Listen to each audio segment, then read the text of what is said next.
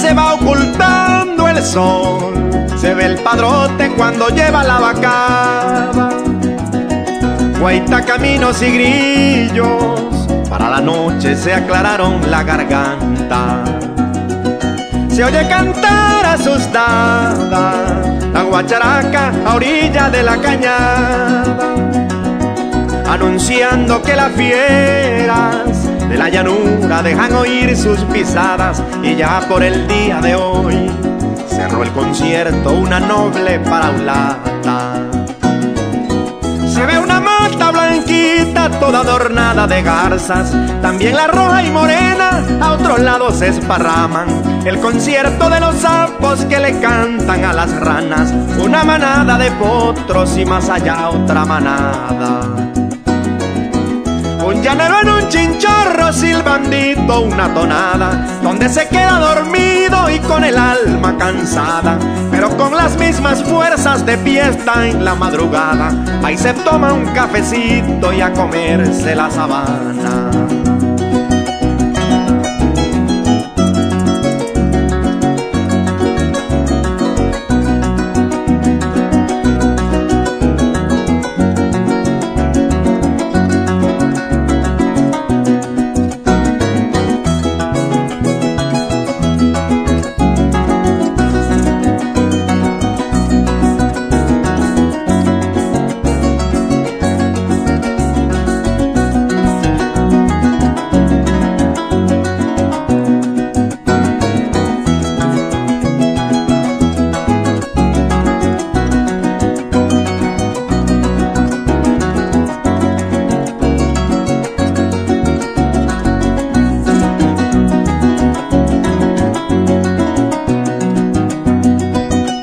Se oye bramar la vaca por el ternero bastante desesperada.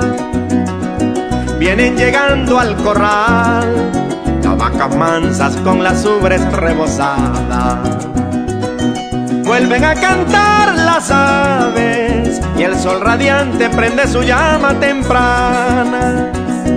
El peón apura al ordeño porque hay pendiente para el día varias marañas, un esmatón o guareto y en el potrero reparar una alambrada. Como él vive en la vaquera observando la sabana, oyendo el canto del loro y el grito de guacamaya, se va a pescar en un caño y no pudo sacar nada. Furioso se vuelve al rancho porque no aguanta la plaga. Pero como dice el dicho, la naturaleza es sabia y le repara la carne para toda la semana.